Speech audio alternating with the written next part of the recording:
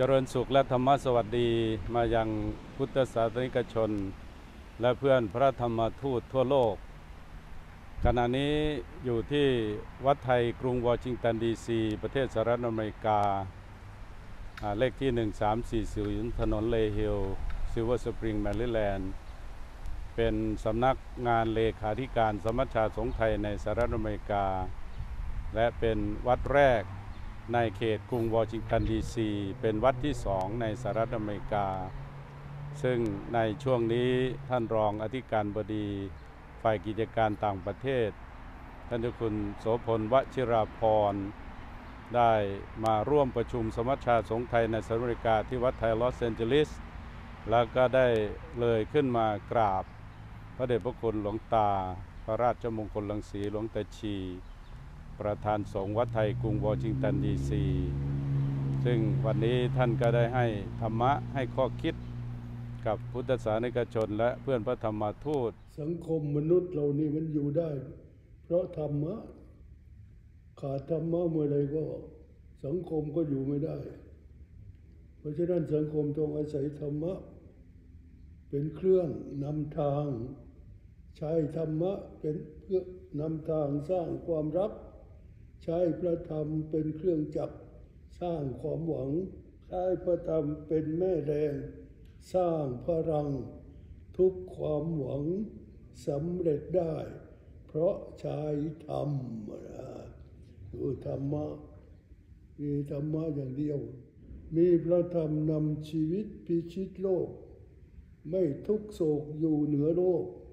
ไรปัญหาครองชีวิตอยู่ในโลก ด้วยปัญญาไรปัญหา สงบเย็น เพราะเห็นธรรมอ่าสวัสดีต้องพวกปปฏิฏิบัติบัติกรรมฐานนี่ก็ต้องใช้สติให้มากที่สุด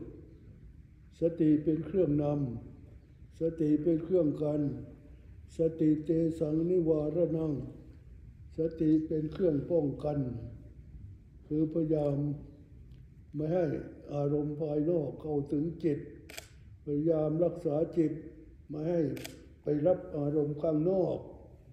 ถ้าทำได้เช่นนี้ การเจริญวิปัสสนากรรมฐาน ก็ปลอดภัย แล้วก็ไปสู่จุดหมายปลายทางได้วันนี้เป็นทูตแห่งพระธรรม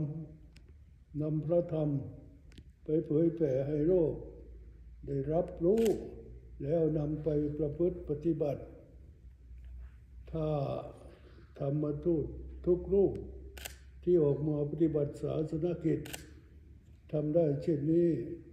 โลกก็จะได้รับพระธรรม ไปนำชีวิตของตน ให้มีความเจริญก้าวหน้าในชีวิต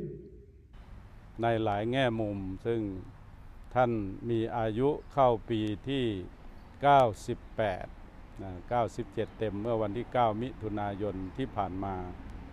ดังนั้นก็วันนี้ก็อยากจะให้ท่านทั้งหลายได้ตระหนักถึงภารกิจงานของพระธรรมทูตสายต่างประเทศ โดยเฉพาะที่วัดไทยกรุงวอชิงตันดีซีนี้ก็มีกิจกรรมในช่วงนี้ก็มีการทำบุญตักบาตรทุกๆวันอาทิตย์ หลังจากที่เรามีไวรัสโควิด -19 ระบาด 2 ปีที่แล้วก็งดกิจกรรมทุกอย่างวัดก็ได้ปิดลง แต่ก็เพิ่งได้มาเปิดทำกิจกรรม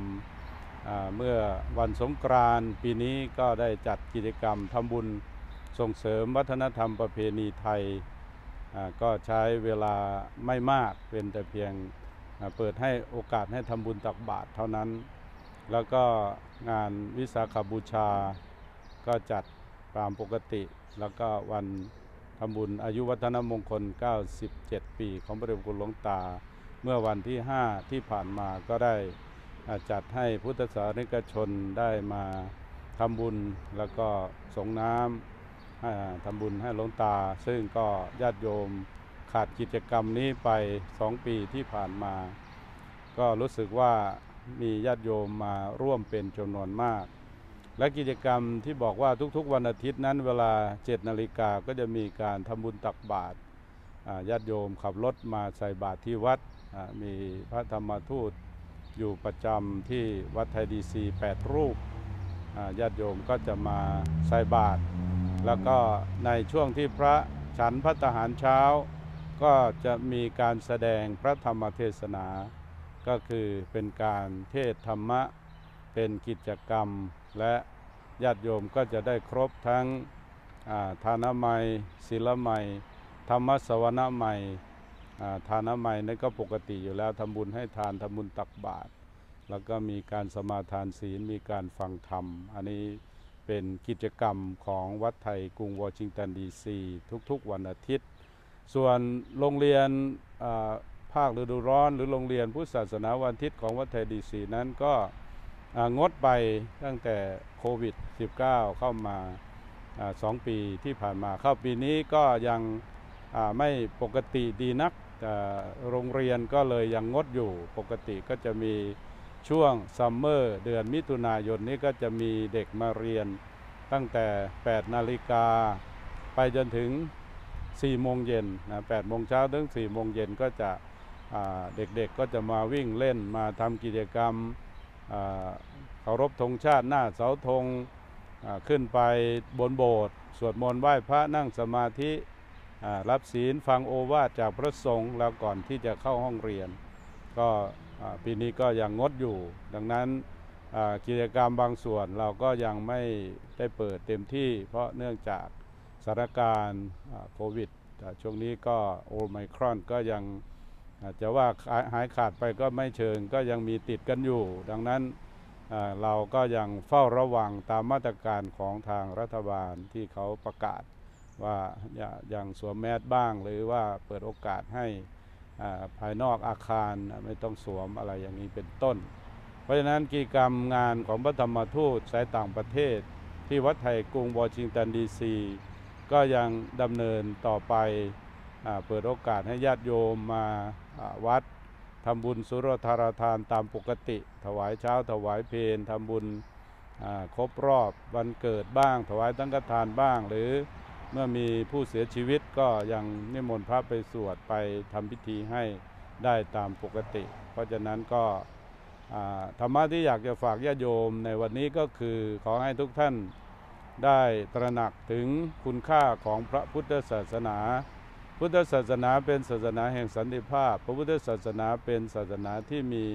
เสรีภาพ เพราะว่าเราต้องการให้มีการฟรีในด้านความรู้สึกในด้านจิตใจ ไม่ให้จิตใจนั้น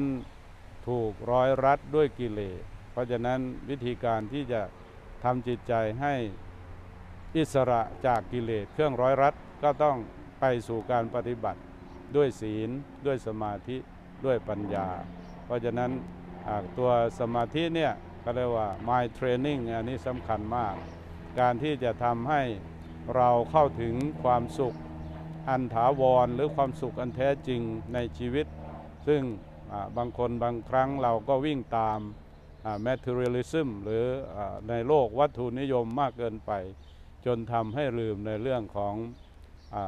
เรื่องของจิตใจ คือเรื่องของการพัฒนาจิต ดังนั้น ความสุขที่แท้จริงนั้นไม่มีอะไรที่ดีไปกว่า การได้ฝึกหัดขัดเกลาให้กิเลสน้อยใหญ่นั้น เบาบางลงหรือถึงขั้นว่าไม่ให้มีกิเลสในจิตใจเลยก็จะเข้าสู่สภาวะความสะอาดสว่างสงบอย่างท้าวรนนี่เป็นความสุขอย่างที่จริงในทางพุทธศาสนา ดังนั้นก็ขอฝากญาติโยมทั้งหลายให้ทุกท่านมั่นคงดำรงมั่นในหลักคำสอนขององค์สมเด็จพระจินวร สัมมาสัมพุทธเจ้า และน้อมนำเอาธรรมะมาประพฤติปฏิบัติ ให้มีความสุขได้ในปัจจุบัน ก็ขอธรรมะสวัสดี มาอย่างท่านสาธุชนไว้แต่เพียงเท่านี้ขอเจริญพร